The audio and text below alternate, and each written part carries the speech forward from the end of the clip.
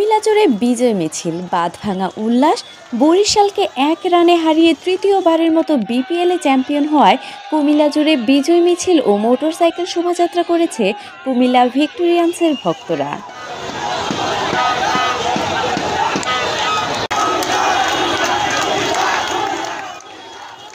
শুক্রবার রাতে জয়লাভের সাথে সাথে কুমিল্লা নগরীর প্রাণকেন্দ্রে পুবালি চত্বরে জড়ো হয়ে বাঁধ ভাঙা উল্লাসে মেতে ওঠে সবাই। এ সময় ঢাক, ঢোল, বাঁশি, আতশবাজি ফুটিয়ে কুমিল্লা কুমিল্লা ধ্বনিতে কেঁপে ওঠে কান্দিরপাড় এলাকা।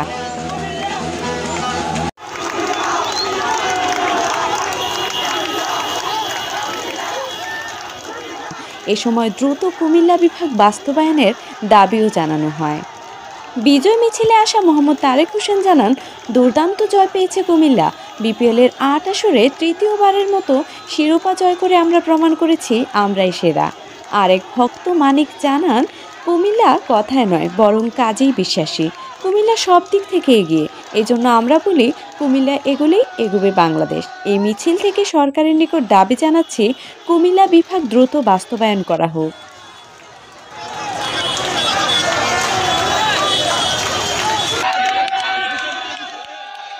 এছাড়াও বাংলাদেশ ক্রিকেট বোর্ডের সাবেক ম্যানেজার উপমিলার বাসিন্দা বদরুল হুদা জেনু বলেন, কুমিল্লার টিম কম্বিনেশন অসাধারণ ছিল।